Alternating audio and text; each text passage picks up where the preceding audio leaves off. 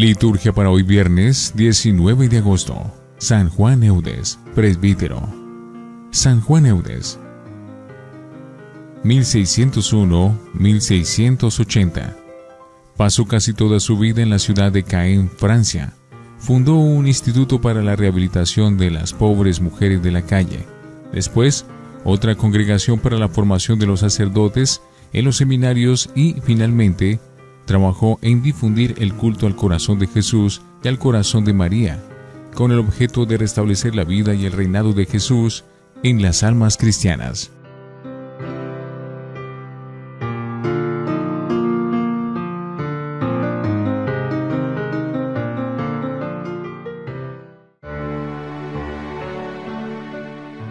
Antífona. El Señor es mi heredad y mi copa. Mi suerte está en tu mano tú me devuelves mi heredad. Oremos. Oh Dios, que admirablemente elegiste al presbítero San Juan Eudes para anunciar las incalculables riquezas de Cristo, concédenos por su palabra y por su ejemplo, crecer en tu conocimiento y vivir en fidelidad conforme a la luz del Evangelio. Por nuestro Señor Jesucristo, tu Hijo. Primera lectura de la profecía de Ezequiel, capítulo 37, versículos 1 al 14. En aquellos días, la mano del Señor se posó sobre mí, y con su espíritu, el Señor me sacó y me colocó en medio de un valle todo lleno de huesos. Me hizo dar vueltas y vueltas en torno a ellos. Eran innumerables sobre la superficie del valle y estaban completamente secos. Me preguntó, Hijo de Adán, ¿podrán revivir esos huesos? Yo respondí, Señor, tú lo sabes. Él me dijo, pronuncia un oráculo sobre estos huesos y diles, huesos secos, escuchen la palabra del Señor. Así dice el Señor a estos huesos, yo mismo traeré sobre ustedes espíritu y vivirán. Pondré sobre ustedes tendones, haré crecer sobre ustedes carne, extenderé sobre ustedes piel, les infundiré espíritu y vivirán, y sabrán que yo soy el Señor. Y profeticé como me había ordenado, y a la voz de mi oráculo hubo un estrépito, y los huesos se juntaron hueso con hueso.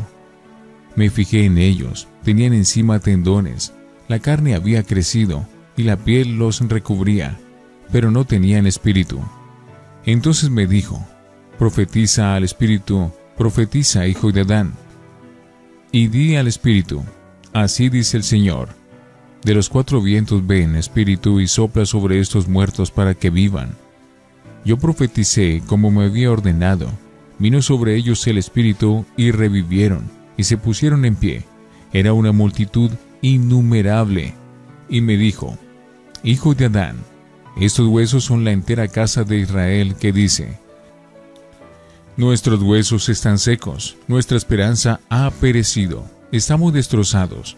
Por eso profetiza y diles, así dice el Señor, yo mismo abriré sus sepulcros, y los haré salir de sus sepulcros, pueblo mío, y los traeré a la tierra de Israel.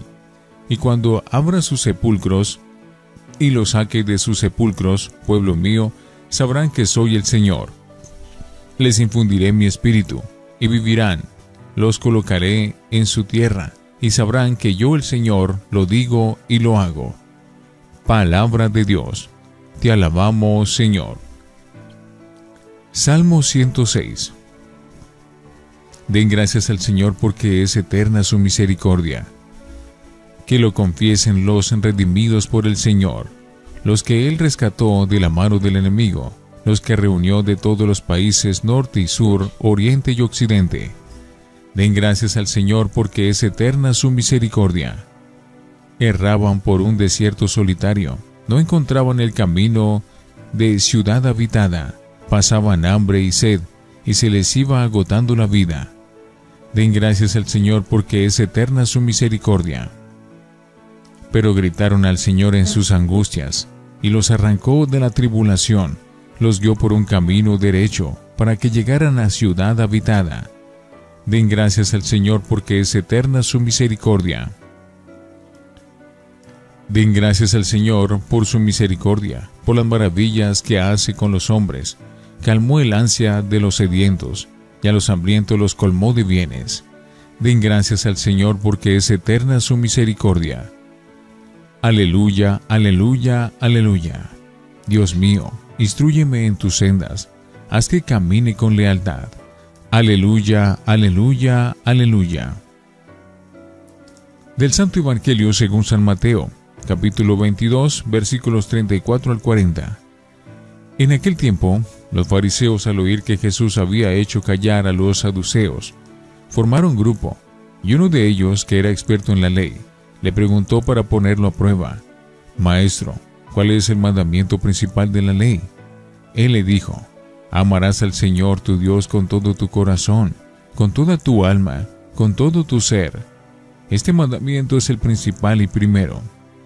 El segundo es semejante a él. Amarás a tu prójimo como a ti mismo. Estos dos mandamientos sostienen la ley entera y los profetas.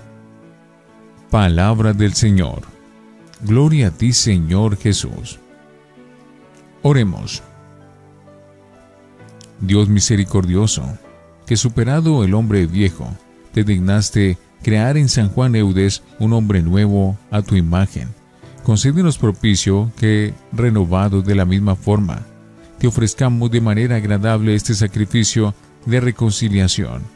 Por Jesucristo nuestro Señor. Antífona. Les aseguro que ustedes los que lo dejaron todo y me siguieron, recibirán el ciento por uno y poseerán la vida eterna. Oración después de la comunión. Por la fuerza de este sacramento te pedimos, Señor, que ejemplo de San Juan Eudes, nos guíe siempre en tu amor, y que la obra buena que comenzaste en nosotros, la completes hasta el día del retorno de Cristo Jesús, Él que vive y reina por los siglos de los siglos. Lección Divina Oremos. Te bendecimos, Señor, por tu espíritu de amor, que nos permite amarte como hijos y abrirnos al hermano, completando así el círculo del amor en Cristo. Te reconocemos, Señor, como nuestro único Dios, a quien debemos amar y servir con eterno corazón. Amén. Lectura. Amar es cumplir la ley entera. La escena evangélica de hoy se desarrolla en un contexto de polémica entre Jesús y los fariseos. Así lo señala al comienzo del relato.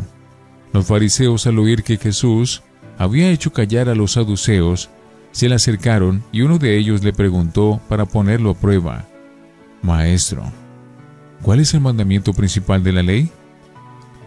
Tras la pregunta se ocultaba el bosque de preceptos 6.13, en que las escuelas rabínicas desmenuzaban la ley mosaica. La respuesta de Jesús fue esta, amarás al Señor tu Dios con todo tu corazón, con toda tu alma, con todo tu ser. Este mandamiento es el principal y primero. El segundo es el semejante a él. Amarás a tu prójimo como a ti mismo. Estos dos mandamientos sostienen la ley entera y los profetas. En su respuesta Jesús se remite a textos de la Escritura que eran bien conocidos en sus interlocutores, para el amor a Dios cita el Shema. Escucha Israel, que repetía mañana y tarde como plegaria todo judío piadoso. Y para el amor al prójimo recuerda el texto de Levítico. Si bien en labio de Jesús, prójimo en todo hombre y mujer, y no solo el pariente y el connacional como en el Levítico. La novedad de la respuesta de Cristo escrita en estos dos puntos, primero, define el amor a Dios y al hermano como el centro y esencia de la ley del Señor, algo olvidado por los maestros judíos, que andaban perdidos en una selva enmarañada de normas legales y en discusiones sutiles sobre su mayor o menor importancia. Segundo, Jesús se centra en un principio, síntesis que unifica y equipara dos mandamientos que los especialistas de la ley judía entendían y explicaban como diferentes, separados y a distinto nivel. Dios y el prójimo. La unidad del precepto de amar a Dios y al hermano es indisoluble, afirma Cristo, más todavía ahí se resume la ley entera y los profetas, es decir, toda la escritura. Más tarde, San Pablo dirá que amar es cumplir la ley entera. A nadie le deba nada más que amor, porque el que ama tiene cumplido el resto de la ley. Romanos 13, 8. Afirmar esto no es suplantar la ley de Dios por el amor al prójimo, sino plenificarla, pues el amor no es una alternativa a la ley cristiana, ni viene a competir con la misma, sino a darle plenitud desbordante, porque es la esencia de la ley.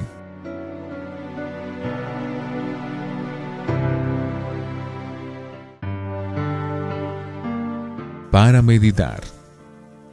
El cristianismo, religión del amor. Según lo que antecede, el cristianismo, es decir, tanto el mensaje como el seguimiento de Cristo, es fundamental amar y encontrarse con Dios en el amor a través de la fraternidad, con nuestros semejantes. Jesús prima el amor como el marco, el contexto y la esencia de la entera ley del Señor y de sus aplicaciones concretas que decimos mandamientos. Es el amor lo que da valor y consistencia a la observancia legal, y no viceversa porque el amor es el espíritu que alienta en la letra de la ley. En su despedida de sus discípulos, Cristo agradó la medida del amor fraterno, que no será ya solo como a ti mismo, sino como yo los he amado. La ley de Cristo, la moral cristiana, es mucho más sencilla que la complicada casuística de escribas y fariseos. Amar sin medida, como hizo Jesús. Desde esta perspectiva, no hace falta preguntar hasta dónde puedo llegar sin violar los derechos del prójimo, o hasta qué punto estoy obligado por la ley del amor fraterno. Cuando éste es auténtico, nunca se da por satisfecho, porque siempre puede crecer más. Efectivamente, va a ser esta una deuda perenne que nunca liquidaremos por completo. Sobra también la cuestión sobre el acento vertical u horizontal, por separado, porque si nuestra fe y nuestro cristianismo son auténticos, incluirán eh, por necesidad ambas dimensiones simultáneamente. Jesús las ha unido en un único y doble mandamiento. Amar a Dios sin amar al hombre es una ilusión, o, como dice San Juan, una mentira, porque Dios se encarna en el hermano.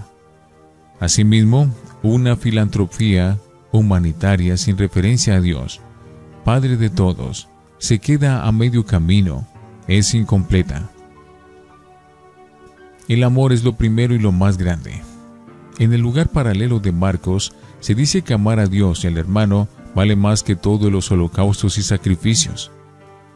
Testimoniemos ante el mundo el Evangelio del amor y mostremos el cristianismo como religión del sí, positiva y abierta a la vida y a la fraternidad, rompiendo el cerco del egoísmo, incompatible con la celebración del amor de Dios por Cristo en la Eucaristía y demás sacramentos de la vida cristiana.